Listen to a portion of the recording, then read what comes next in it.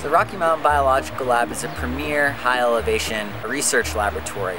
We have years upon years of really invaluable data, some of the best data sets in the world on plants and animals that are the longest running. So not only do we have this sort of rich, cutting edge scientific community, but the Rocky Mountain Biological Lab really supports a fabulous emotional community as well.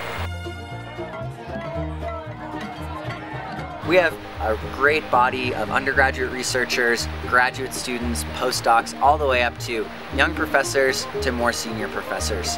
And what that does is we have this great understanding, sort of knowledge input every single year. People really thinking hard, coming from different perspectives. And I think that's a really special thing. It gives us a lot of insight into what's going on here. So a really cool thing about the science we do here at the Rocky Mountain Biological Lab so we have an amazing diversity of plants and animals here. In terms of wildflowers, this is Colorado is known as the wildflower capital of the US and Crested Butte is the wildflower capital of Colorado. So we're in the hotbed of plant diversity and beyond that we have a huge number of really interesting things going on with animals, really long-term records of marmots and ground squirrels, things that you just are unparalleled data sets and unparalleled insights into the way the biological world is working that other field stations just don't have.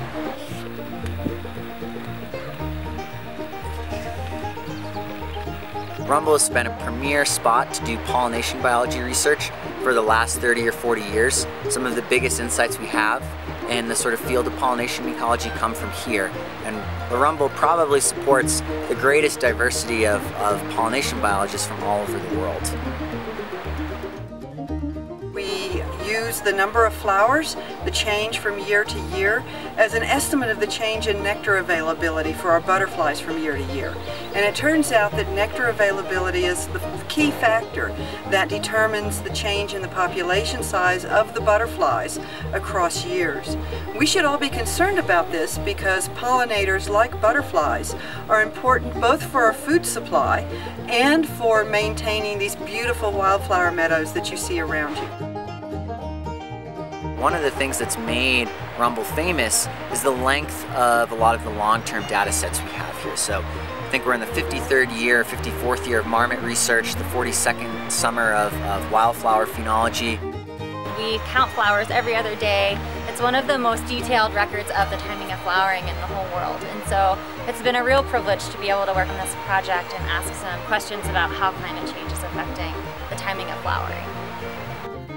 Because of the length of these long-term data sets, RMBL has become a premier field station to study the effects of climate change on ecosystems.